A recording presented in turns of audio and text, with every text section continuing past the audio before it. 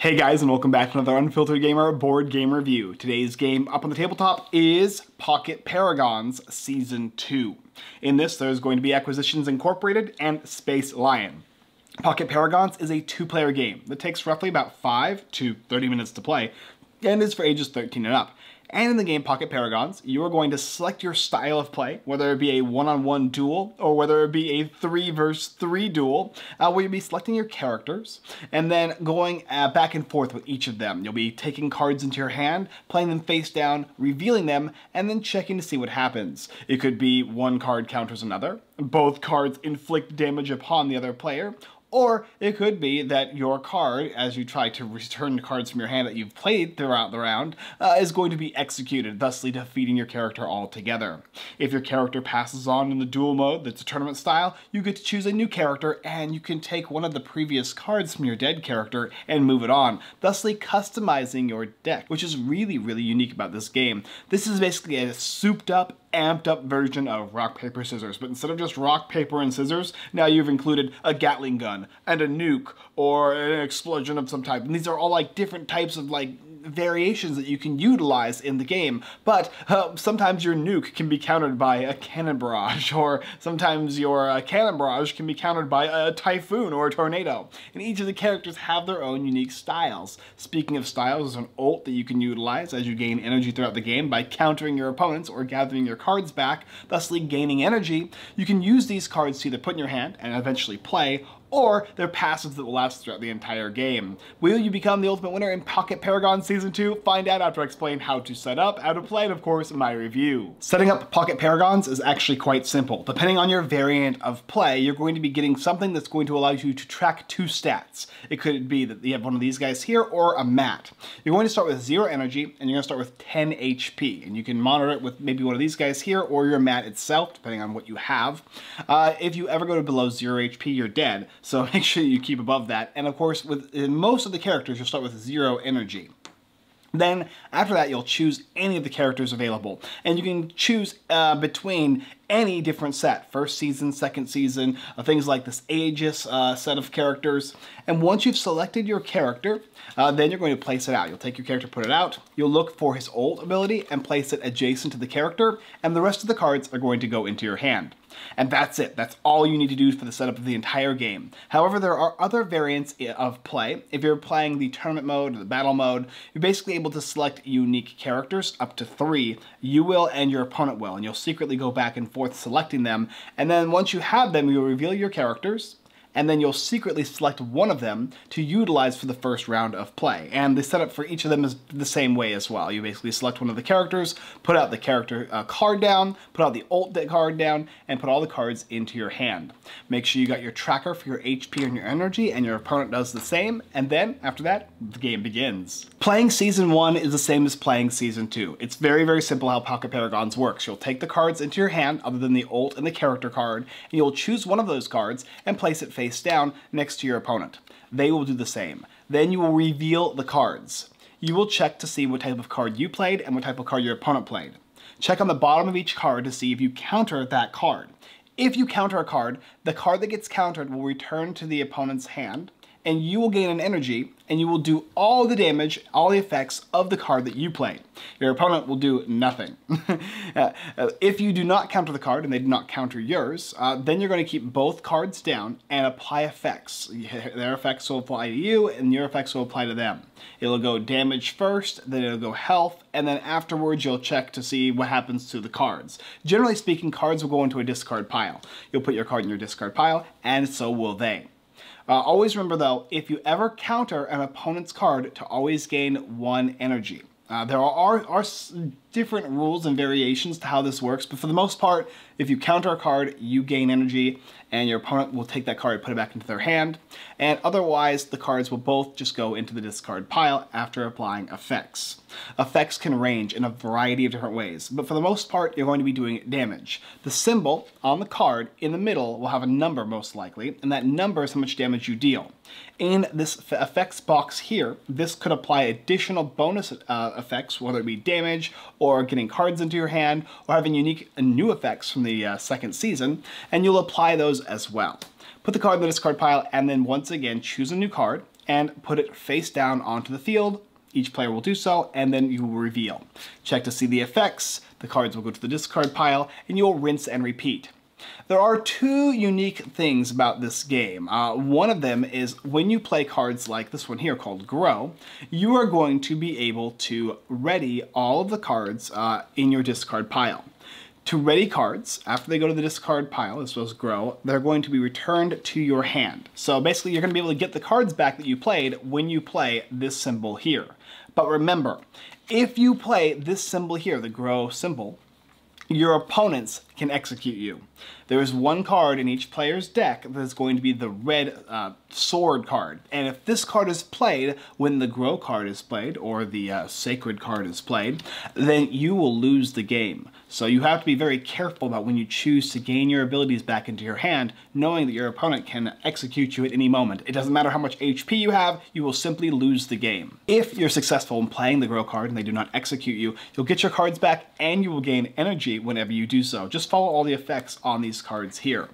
And that's basically how the entire game goes. Uh, each player has these same symbols in their deck. Doesn't matter what character you have. It could be a card like this that's going to let you recuperate cards. Could be this one here. Lets you execute other players' uh, grow cards. It could be something like this Thorn Wall, which is basically preventing damage from your opponent. Uh, this fist here, which also soft counters or can counter this card here, the uh, winged card. You have this book here that counters fists, and then you have the wings that counter books. So uh, there are, I believe, one, two, three, four total cards that can be countered in the game. And uh, that's basically how the game works. So you're basically playing cards, revealing them, checking to see what happens, and if at any point your opponent's HP goes below zero and stays below zero at the end of the round, meaning after cards have been flipped and cards go to the discard pile, then the person whose HP is at zero loses, and the player who isn't wins. And the only other way that this changes is if you're able to execute your opponent when they're attempting to get the, gain the cards back into their hand. And that's, that is completely Pocket Paragons in a nutshell. It's pretty straightforward, pretty simple. A face down card game, reveal, do damage, hit zero HP, or execute them before that happens. So this is basically an over-involved rock, paper, scissors. But is it all based on luck? The answer is no, not at all. This game is based on strategy. Making sure you choose cards that your opponents are not going to try to counter, making sure you try and execute your opponent when they try and gather their cards back in their hand, and making sure that you use the character that you have on the field to its advantage against your opponent. Each character functions completely differently. Each card in your hand is going to have unique effects. Even cards as simple as this one here that let you return cards to your hand can have a unique benefit to you when you play it other than just gaining you an energy and of course gaining cards back from your uh, discard pile. In the season two, there are two new effects too. You have the level up effect that lets you level up based on with your energy, and the other one, which is my personal favorite, which is the seal. Some cards, when you play them, will get sealed, and instead of going to your discard pile and being returned whenever you play one of these cards here, Basically, whenever you were to ready cards or return them to your hand, you instead turn them from a 90 degree angle back to its normal positioning. And then the second time you do that, the second time you play like a grow card here, um, uh, you're going to be able to take this card and put it back into your hand. So it's kind of like Magic the Gathering's creature is tapped until the next turn, as opposed to just being able to, this, this card needs to be returned twice, as opposed to just returned once. Not only that, but all the characters have unique twists and turns to them as well. Uh, like, for instance, this one is really cool. This one is called Jared and Alex, uh, Bounded Friends. Basically, any of your non sun abilities get plus one attack for each energy that you have up to a maximum of five. And that's how much energy you can have total, which is five. But you cannot gain energy in this deck like you normally would. Instead, at the end of every round, whenever you play a card and reveal it, you will just simply gain an energy after the, that round has finished. Your opponent, however, has the opportunity to seal one of their cards, meaning play one of their cards to the discard pile sideways, and make you go to zero energy after that happens. If they don't, however, you are going to be able to increase your energy and then continually Uh, gain stronger and stronger cards with plus one attack, plus two, plus three, plus four, to the point where if they don't, and you have five energy, you can go ahead and play a card that's like this overrun for one damage, and all of a sudden now it's worth six damage, which is more than half of your opponent's starting HP. So they have to be careful and choose how many cards they want to seal. Also, if they seal too many cards, just in general, in principle, they're going to be left with not having any cards left to choose, and thusly they're going to be stuck with a lot of opportunity for you to try and execute their card. And just this one character has all that unique stylization to it which is awesome. The fact that these ultimates in season two have such a variety and uniqueness to them is, is great. Of, of course, each of the characters as well have this really cool symbol on the top left-hand side. It tells you what type of character they are and how challenging they are to play. So a one is a very simple character, a two is a more challenging character, and a three is a very complex character. But complex and easy does not make them better or worse. Uh, it just makes them more interesting and more hard to develop, uh, to try to understand, I should say. But if you can master them, you can be very, very powerful with them. This guy here has this really cool card called Persistence. It says whenever your enemy plays an ability, you may ready an exhausted ability of the same symbol. So uh, th basically this guy has a ton of cards that instead of just going to the discard pile like normal, they're going to usually go to the side like that. They're going to be sealed.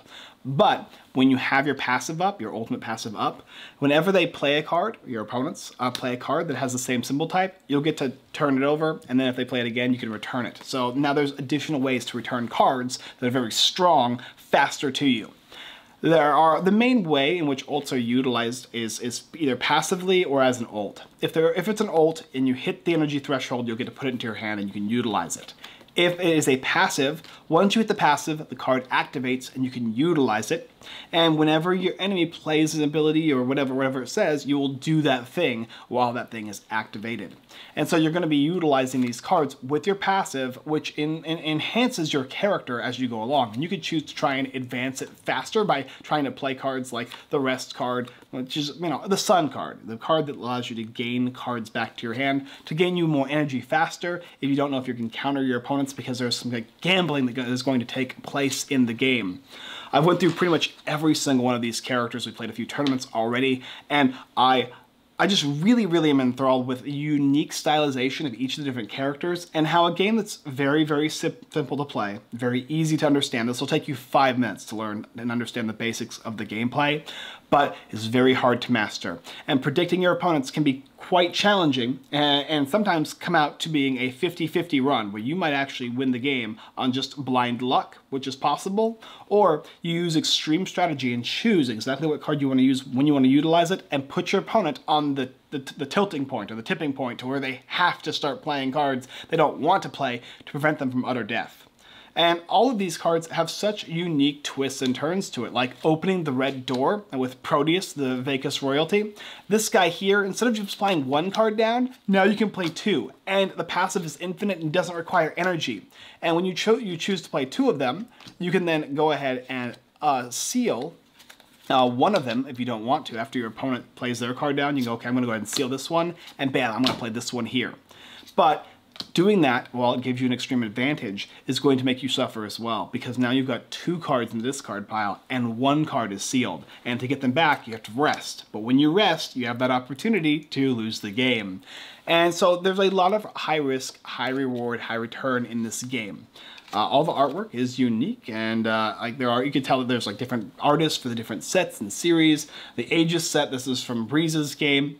Aegis uh, combining robots uh, system. We just they did a second edition for this game, which was a lot of fun.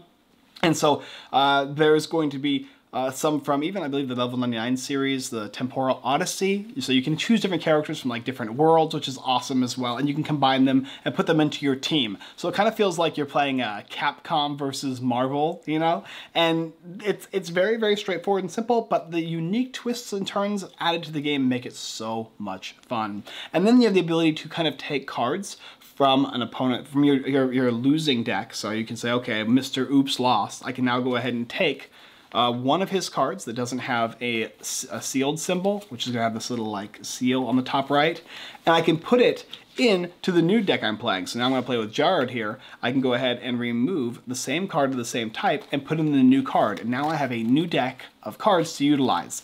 And if this guy perishes away as well, the next character I take out, I can now go ahead and bring in two cards from this old deck, including the card that I got from Mr. Oops, thusly customizing this deck even further. So you're gonna have tons of customization in this game.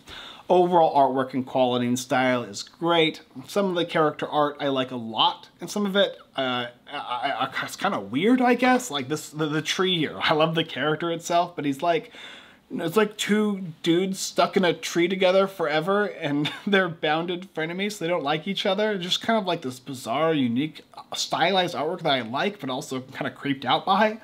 Uh, there's just so much personality as well. And I feel like you're going to find the artwork that you like and because there's so many options to choose from in this game. And it is a ton of fun. The only sad thing about the game is it's a two-player game, so you'll be going back and forth playing with each other. And uh, I guess you can set up tournaments as well, so it all works out pretty well for this game. But yeah, if you're looking for a cool head-to-head -head game that you can play really, really quick or set up a tournament style, then Pocket Paragons is for you. Straightforward and simple strategy makes for an easy, light game that I can take anywhere that I'd like and bring out, pick a character, you pick a character, and then we play. Train, plane, automobile, it doesn't matter. You can have fun with Pocket Paragons. Season 2, available now on Kickstarter. Thank you guys for watching our Unfiltered Gamer board game review for the game Pocket Paragon Season 2. We did a review for Season 1 a long time ago, and that was a lot of fun. And this here is just more fun, more goodness with unique twists and turns. I love the fact that they keep uh, upgrading and enhancing the style of play, but without removing the complexity of the game. And that characters with their ults turn into completely new stylizations, uh, like new changes that come with this game, which is just excellent. You can go and check out the rest of our videos here on YouTube on uh, like, comment, and subscribe. Hit that bell notification button if you see more than one of our videos here. Uh, then maybe it's time that you do so. Hopefully we've earned your subscription. Every Wednesday at 6.30 p.m. PST, we do a live stream on Whatnot. And of course, at 6.30 p.m. PST, we do a live stream on Facebook, Twitch, and YouTube as well.